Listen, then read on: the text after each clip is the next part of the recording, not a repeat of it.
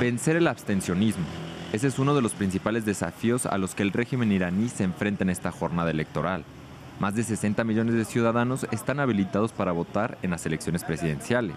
Siguiendo la tradición, el primero en votar fue el Ayatollah Ali Khamenei, quien convocó a participar de los comicios. El día de las elecciones es un momento de gran alegría y entusiasmo para nosotros los iraníes, especialmente durante una elección presidencial, cuando el voto del pueblo determinará nuestro futuro por los próximos años.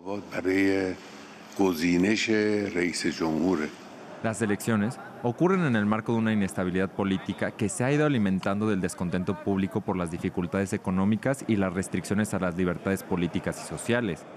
Los iraníes eligen entre cuatro candidatos, entre los que se encuentra el actual presidente del Parlamento Mohammad Bakr Kalibaf, Said Khalili, un diplomático de línea dura, Mostafa Pur Mohammadi, clérigo y exministro de Justicia, y Masoud Pasheshkian, el único candidato reformista. Entre los jóvenes, las elecciones marcan una oportunidad de cambiar el panorama social y político de la nación persa. Espero que el próximo presidente consiga una mejora diplomática entre Irán y Egipto. Así podremos establecernos como una potencia regional. Mi otra petición es, sin duda, garantizar que todos los iraníes, independientemente de su etnia o religión, puedan actuar con libertad.